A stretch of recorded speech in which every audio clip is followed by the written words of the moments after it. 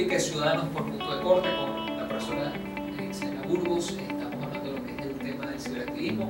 En la parte anterior, bueno, eh, dejamos un tema, sobre todo, tema de, de organización, ciberactivismo, cómo organizas la calle. Y eh, hablamos del caso de Podemos, que es muy puntual en eso y cómo cayeron en una tradicionalidad.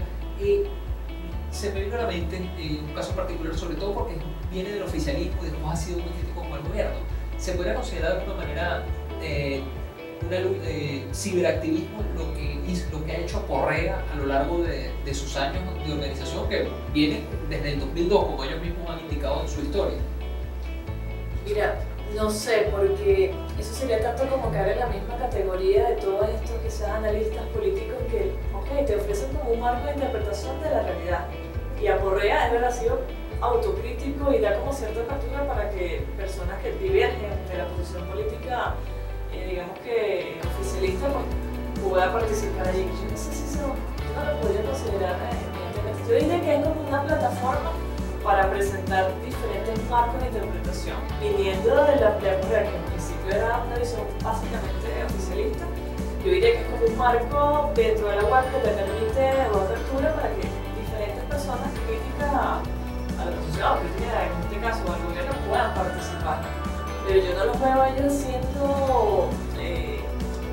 movilización, concertando, haciendo ese trabajito hormiguita que supone el ciberactivista que tiene, una, tiene una- un entrenamiento político, que tiene unas directrices específicas, que usa las redes para precisamente canalizar a la gente, organizar a la gente. No lo veo en ese, en ese sentido. Lo veo como todas estas personas que están utilizando las redes hoy en día como para tener, ofrecer a la gente marcos de interpretación de la realidad. Y eh, podría ser al revés, que de repente del, el, ciberac- o el ciberactivismo pase a una especie de plataforma web, de información, de cuestiones de, noticias sobre lo que pasa en determinadas comunidades. ¿Eso pudiera darse de alguna manera?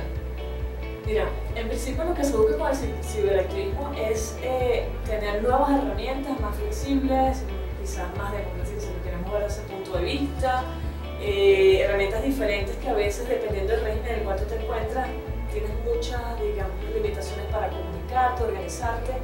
Eh, digamos que Internet te ofrece esa posibilidad y el ciberactivismo tiene esa posibilidad de replantearse quizás nociones de ciudadanía, de democracia, de gobernanza, hasta nuevas formas de- de organizarse, de reorganizarse, pero eh, yo creo que va más allá de simplemente tener quizás un portal web.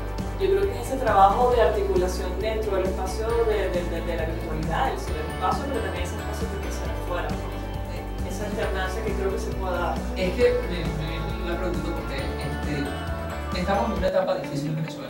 Eh, vivimos, yo lo defino una autocracia, no digo una dictadura como tal, porque sí es una autocracia, algunas cosas son democráticas, otras no. Estamos en, una- en un marimango de cosas que no entendemos. Eh, ¿Qué trabajo puede dar el ciberactivismo en esta etapa? Porque tenemos censura en los medios tradicionales, pero también el ciberactivismo puede dar una función de inform- informativa. ¿Qué, qué trabajo puede, puede hacer el ciberactivismo en este tipo de luchas? Sobre todo eh, de luchas autocráticas, que creo que el ciberactivismo, no sé si el ciberactivismo está pensado para eso o pensado para temas más democráticos. Fíjate algo, eh, con las movilizaciones estudiantiles del año 2014 y todas las movilizaciones, que todo el ciclo de protestas, porque podemos hablar del todo el ciclo de protestas, del 2014-2017, claro, más todas las protestas que se han dado obviamente en otros contextos hace muchos años atrás, pero hablando de estas dos, 2014-2017, podemos ver cómo, por ejemplo, en esta última protesta del 2017 se hizo un uso súper intensivo de las redes a todos los controles de censura y autocensura que encontramos en los medios tradicionales, la gente se volcó literalmente a informarse por Twitter, informarse por, colocar cosas en Facebook, en, en Instagram, en utilizar el Periscope para ¿sabes? informarse, se utilizaron de manera bien, bien intensiva el uso de redes precisamente porque la gente consideraba que era una manera de poder informarse, de poder comunicar, sabiendo las consecuencias también que trajo mucha gente pues expresar su opinión a través de las redes, mucha gente terminó presa, mucha gente terminó Sí. sin juicio. Hay, hay que destacar que en Venezuela hubo Sí, gente sí. detenida por, por usar las redes. El caso más reciente es de un señor que por poner la ruta presidencial del, del avión fue detenido. Ese tipo de cosas estamos de todo, desde que alguien emitió algún tipo de opinión eh, sobre algún personero político, pues terminaba preso, eh, sin, eh, sin ningún tipo de juicio, gente que emitió opiniones por Twitter. Yo siempre comento que a mí me parecía bastante escatológico que una señora dijo que bueno, ya preveía en el futuro que no iba a haber agua, terminó presa. Lo estamos viviendo ahorita. El señor habló del de, el tema de, de, la energía eléctrica, que no iba a haber luz, como dice el mundo coloquialmente, terminó preso. Entonces, es decir, la gente usa mucho más las redes por el tema del control gubernamental que hay de los medios tradicionales. Pero eso también supone que eh, la libertad de expresión está bastante limitada acá. Es decir, nosotros podemos hablar muchas cosas por las redes, pero también tenemos todo un ejército del área gubernamental que está constantemente vigilando monitoreos de qué se dice en las redes. Y en cualquier momento no te extraña que el sabiendo toque las puerticas y emitiste algún tipo de opinión. Y, hay una cosa que a mí me preocupa, sobre todo con el uso de las redes. Yo creo que hay un tema de, que tiene que ver de responsabilidad. El tema de los fake news, sobre todo con el ciberactivismo. A veces viene la información, vienen los temas, información contra información.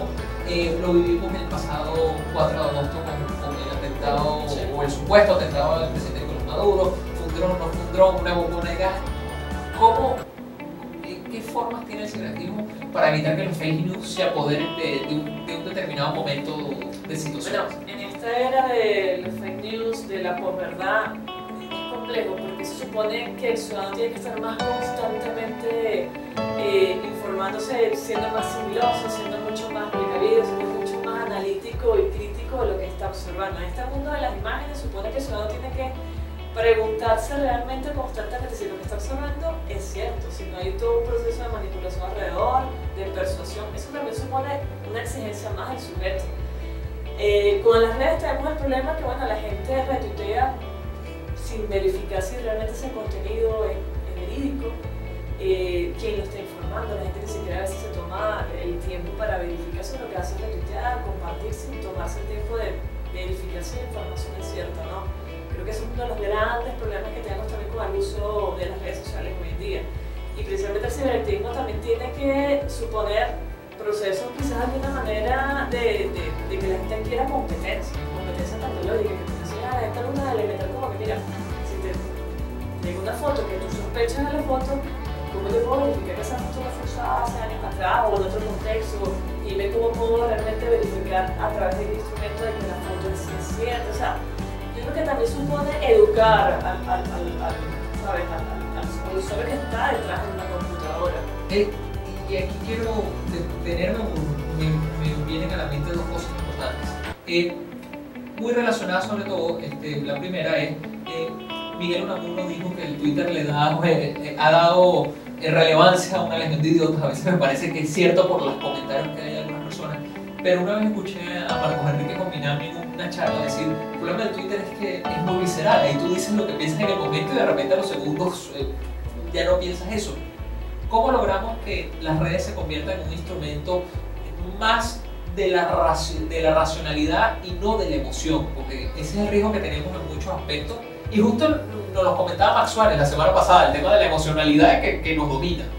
Es complejo porque uno suele ver las redes como más a veces desde la catarsis, desde lo visceral.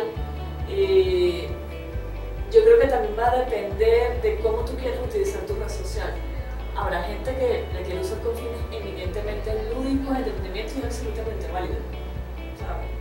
Como habrá gente que quizás quiere dar un carácter eh, más de, de, análisis, más de generar un proceso de, crítica o llevar a la gente a un proceso de reflexión es decir, va a depender quizás de, de, construir una tipología, pues nos vamos a encontrar con gente que no le interesa reflexionar o no le interesa ir más allá o, está en otra cosa, pues es válido también. Te vas a encontrar quizás gente donde quizás lo único no sea tan importante, quizás quieren otro tipo de cosas. Entonces allí como que decantar que la red social sea solamente para un fin evidentemente, qué sé yo, de análisis o de seriedad es complejo, porque la gente lo usa dependiendo cuál sea el uso que le está dando en su vida. Twitter es interesante, porque es verdad, te encuentras con gente que tiene muchísimos seguidores en Twitter, que son los, los influencers, por así decirlo, son gente que lleva la batuta en cuanto a, a qué pensar sobre determinados sucesos en seguidores, pero que a lo mejor tiene una cuenta condominio en su casa, en su apartamento no va, porque no le interesa ir. Pero tiene una legión de seguidores ahí, que la gente está pendiente a ver qué dijo él, pero quizás no sabe que en la esquina de, de su apartamento hay un problema todos los días. Entonces es un poco la, la, contradicciones que vamos teniendo. O las complejidades que supone hoy en día vivir en, esta, en este tipo de sociedades, pues donde la virtualidad a veces se le da mayor importancia que a veces los contextos físicos en los cuales nos estamos moviendo. Un tema muy impersonal de una manera, pero eh, vamos a continuar ya en la última parte de República Ciudadanos, aquí por Punto de Corte. Eh, vamos a continuar hablando con la profesora Edixela Burgos, que me parece muy interesante este tema del ciberactivismo. Eh, vamos a decir, lo, lo, manejamos, decimos que somos ciberactivistas, pero al, al, al, final de repente no somos tanto. Eh, hacemos una pausa y continuamos aquí en República Ciudadanos por punto de corte.